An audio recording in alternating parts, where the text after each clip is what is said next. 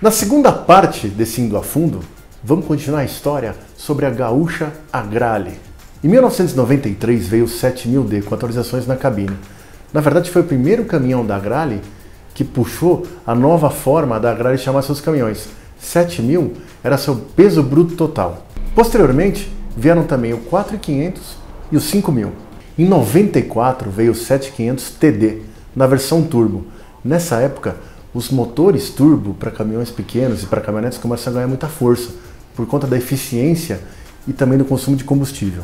Em 96 vieram o 7000 DX e o 7500 TDX.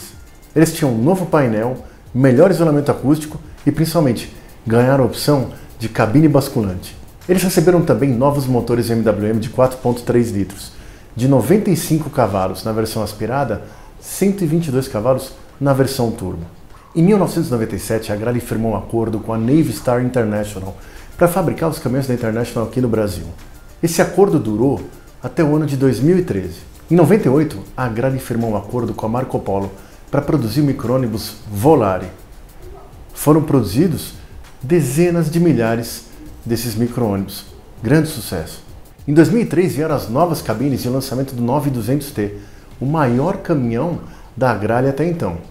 Eram dois tipos de cabines, uma menor para os 6000, o 7500 e o 8500 e outra maior, na verdade ela até era estendida para o 9200. Tinha muitos itens de conforto na época, até revolucionários para o segmento. Até lugar para você colocar seu laptop tinha dentro dessa cabine. Em 2007, a Agrale entrava no segmento dos médios com a Agrale 13000, motor MWM de 173 cavalos. Alguns modelos, como o 8500 TR, que era um leve com quinta roda, que era fabricado exclusivamente para autoescolas, e o 8500 CE, que era um caminhão leve com cabine estendida, mostram o quanto a Grale sempre foi preocupada em trabalhar em mercados de nicho. E o que é bacana dessa marca? Que é a nossa única montadora que é 100% brasileira.